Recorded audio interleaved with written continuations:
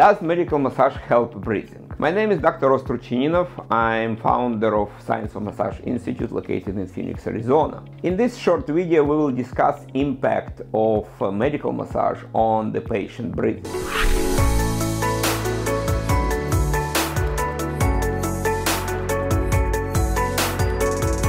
You're perfectly familiar that there is uh, such a variety of pulmonary abnormalities called COPD. Patients suffer from bronchial asthma, emphysema, chronic bronchitis, they recover after pneumonia. All of those abnormalities severely affect their breathing. Sometimes already after pneumonia, they recover from pneumonia or from chronic bronchitis. One of the major consequences of that is decrease of oxygenation level. When the oxygenation level drops, then the brain, which need oxygen for the performance, the only solution for the brain in such case is to increase heart contraction and increase blood pressure. So one of the consequences of insufficient breathing is essential hypertension. So right now two systems, which is cardiac and pulmonary, start to suffer together. And now it's not high blood pressure the problem, it's insufficient oxygenation of the blood is the problem. And that's what medical massage can help with. If you want to decisively help patients in complex clinical cases, greatly increase your income, and partner with local medical communities, please click right now at the link below in description and join us for live medical massage seminars and webinars, and we will work together.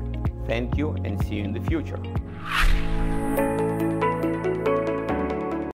A respiratory system is only one system of our body of inner organs which heavily rely on normal function of the somatic tissue and somatic structure which is uh, thoracic cage, ribs, intercostal muscles, primary and secondary muscle of respiration. So these muscles every time they expand our chest and they collapse our chest, we're using them during exercise, during running, during stress situations. So entire pulmonary function severely rely on normal function of somatic structure, which is your skin, your skeletal muscle, your fascia, your ribs, your periosteum of the vertebrae. So all this tissue, they are engine of pulmonary system. If the engine fails, then respiration fails. If respiration fails, then it increases your blood pressure. So all these events link as a chain. And the role of medical massage in decompressing primary and secondary muscle of respiration. Primary muscle of respiration we use every time when we inhale air during resting hours. As soon as you run or you do physical activity, then the amount of oxygen needs to be dramatically increased, and then you add contraction of accessory muscle respirations, which now we use to additionally uh, maintain ventilation in the lungs. So decompression and reducing tension in those muscles which overworking with, uh, in patients who has pulmonary disorders. That's what medical massage specifically designed to do because decompression of the soft tissue component, elongation of the respiratory muscles, freeing respiratory muscle from the compression by the fascia, all of that dramatically increase oxygenation of the blood and that is first critical step which allows to reset other system, systems and the function.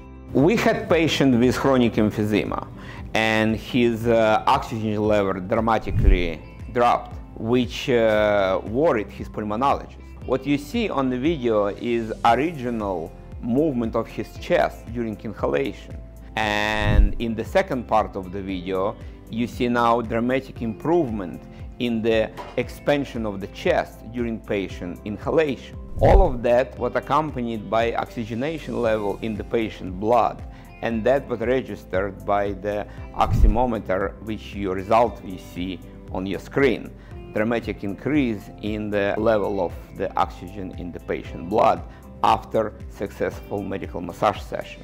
So from that point of view, medical massage is not just helping the breathing, it's key element to reset pulmonary system because without proper function of somatic engine of the respiration, nothing will happen in the lungs themselves. And that's where gas exchange happens. From that point of view, resetting uh, soft tissue component allows you to normalize patient ventilation, and that's bottom line.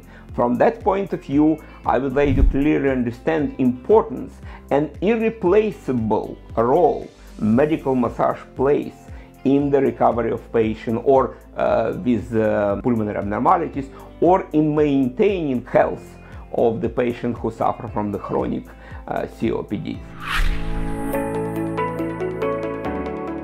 What do you think about pulmonary function and uh, somatic structures which are responsible for the pulmonary function maintenance. If you have any your personal experiences, you have maybe members of the family who suffer from COPD, and you already work on them, share with the other therapists your experience, and uh, we will learn from each other.